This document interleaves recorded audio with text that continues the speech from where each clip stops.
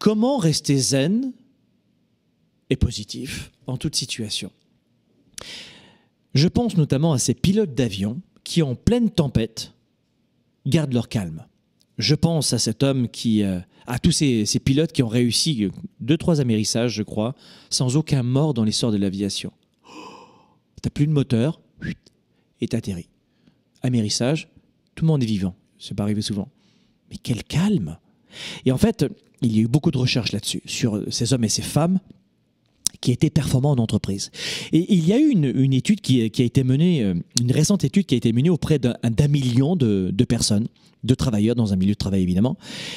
Et on a analysé les gens qui performaient le plus, donc des gens très concentrés, des gens qui, produisaient énormément dans, ce, dans un esprit, dans un élan positif.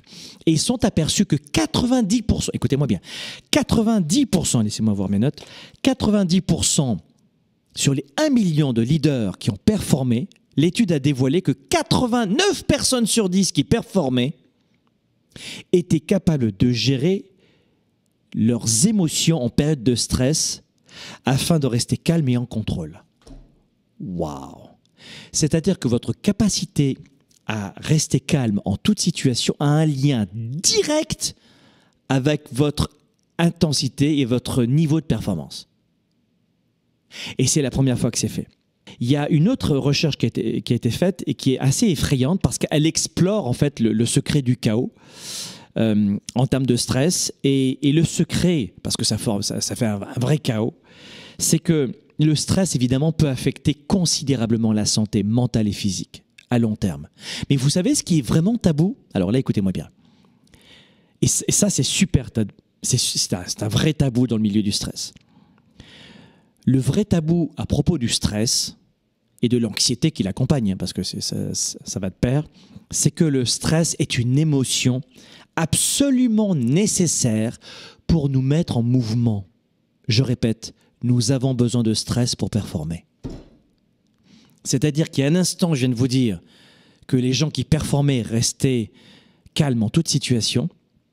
Et je viens de vous rajouter une petite couche au millefeuille en vous disant, attention, les études dévoilent aussi que le stress est bénéfique pour la performance.